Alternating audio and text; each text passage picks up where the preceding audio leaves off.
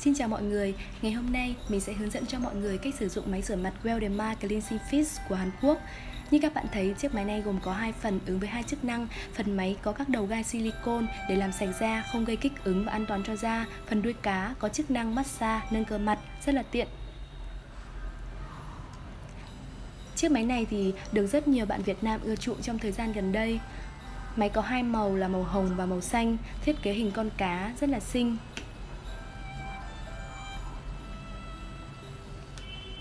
Nút nguồn các bạn nhấn và giữ để khởi động máy. Ngoài ra có nút cộng và trừ tăng giảm tốc độ linh động theo mức mà các bạn mong muốn.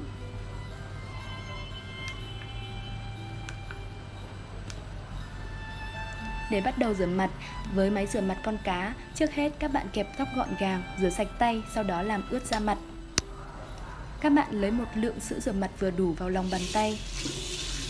Tiến hành làm ướt sữa rửa mặt và các đầu gai máy bật nút nguồn của máy, rồi lấy máy để tạo bọt trên tay.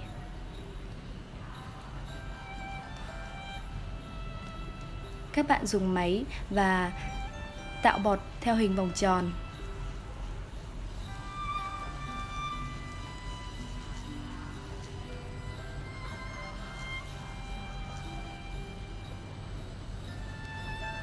Các đầu gai thì rất là mềm.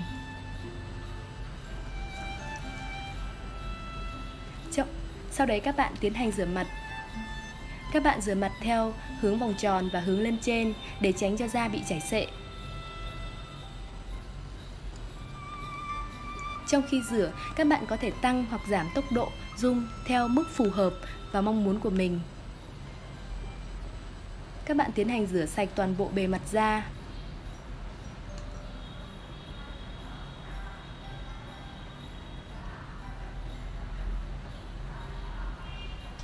Đến vùng trán thì các bạn tiến hành rửa theo chiều ngang để hạn chế nếp nhăn trên vùng trán.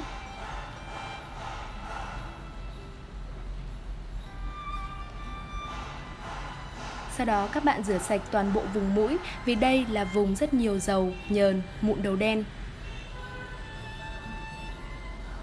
Các bạn nên thư giãn và thả lỏng gương mặt trong khi rửa nhé. Các bạn thực hiện rửa toàn bộ gương mặt trong vòng khoảng 1 phút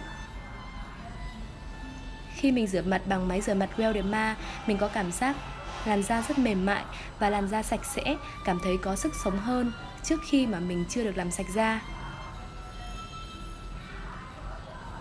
Sau khi massage toàn bộ gương mặt bằng máy con cá, các bạn nhấn giữ nút nguồn và tắt máy, sau đó rửa mặt sạch lại với nước. Máy rửa mặt các bạn cũng có thể rửa sạch vì các đầu silicone không thấm nước nên các bạn thoải mái rửa mà không lo hỏng máy đâu nhé. Máy chạy bằng pin nên khi hết pin các bạn có thể sạc nhé Rất tiện lợi khi mà các bạn cần mang đi xa chưa hết, các bạn có thể dùng phần đuôi cá để massage nâng cơ mặt luôn hoặc các bạn có thể thực hiện sau các bước bôi kem dưỡng. Trên đây là toàn bộ cách sử dụng máy rửa mặt Well Derma của mình. Cảm ơn các bạn đã quan tâm và theo dõi. Xin chào và hẹn gặp lại.